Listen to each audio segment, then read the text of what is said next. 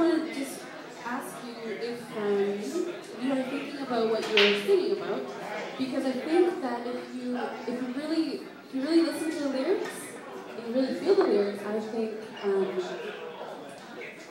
I think it'll just be easier to to, to get the pitch. I just feel like some parts are a little bit pitchy.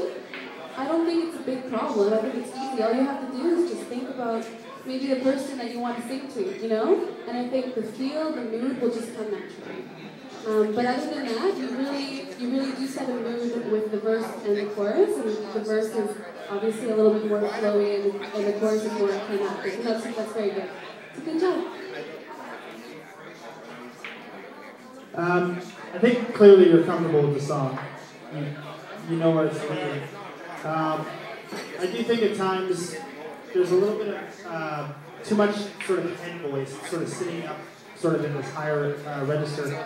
On those longer pushy notes, you can find connect connect with your diaphragm, as Val sort of put it. Find find that power voice rather than just sticking everything up in the head voice. It'll sound that much more meaningful. And in addition to what she was saying, it'll help you find the emotion behind the song a little bit better.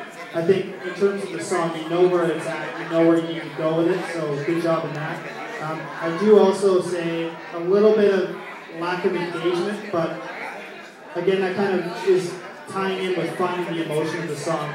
And if you can find that delicate balance between your head voice and your diaphragm, you'll be able to push and you'll be able to relate to that emotion a little bit better. So I think an overall really good job of that song. Just work on that balance between here and here, and you'll be great.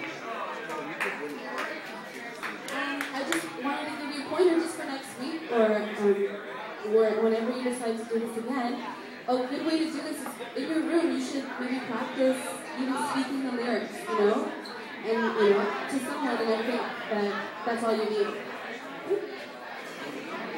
Good job, Melissa. Uh, your tone was good. I really liked your timing. Your timing was bang on. You know the song really well. And you didn't uh, you didn't look at the words very often. You knew your words to the song. That was awesome. Good job on that. You look great. And you got a great stage presence up there. I would just move a little bit more. Other than that, I really enjoyed the performance. Thank you.